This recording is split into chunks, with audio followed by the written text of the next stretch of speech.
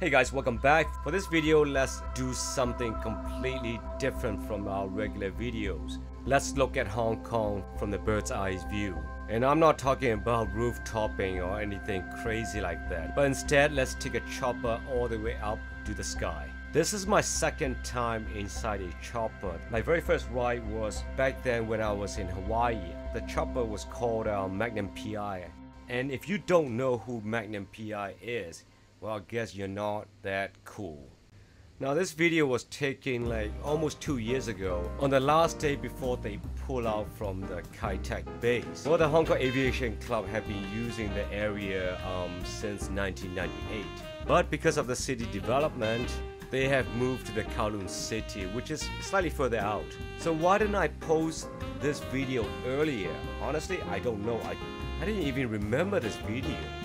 Now, as you all know, Hong Kong is a seriously densely populated um, neighborhood. There's approximately 7.5 million people living on this small island.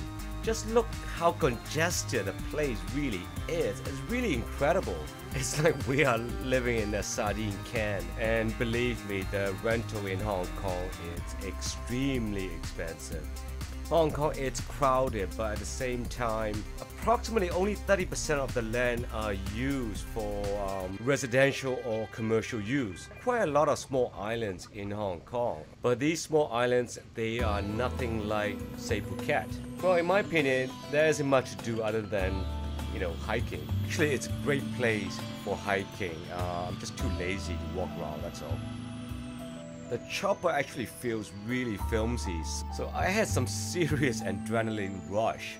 I was screaming quite loudly. Luckily it was too noisy to, to record my screams.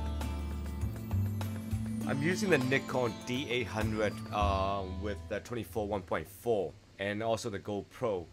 I haven't touched my uh, the Nikon cameras for quite some time. I don't know. Um, I mean, for video, I'm using the Leica SL and the GH4. For the still shot, we're using the the Fuji GFX. For some reason, Nikon is no longer sexy to us.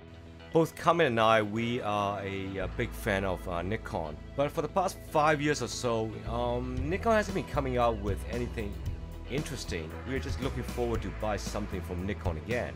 Come on Nikon, we need some fun cameras. It'd be nice to see the 28 Ti, 35 Ti, the F3, um, even the FM3A. I mean, we would seriously get them all if Nikon start making them again.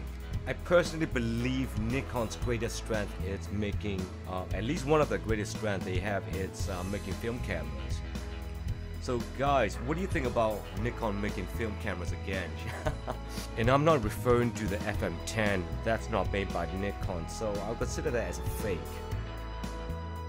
Right now I'm still using the FM2, this FM2, but the D800, oh man, we you know, we haven't touched that camera for ages.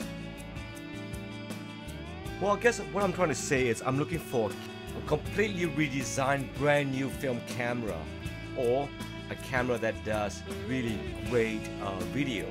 Well, just because a camera does 4K doesn't make it a great camera. It needs to do a lot more than just 4K or 5K.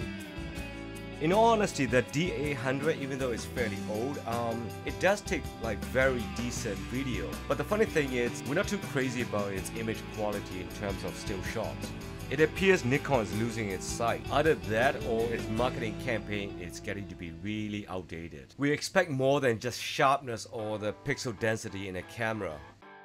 What we want is, I want to feel good, I want to feel important, I want to feel good looking when holding that camera, even if I'm not using that camera, even if I don't know anything about photography.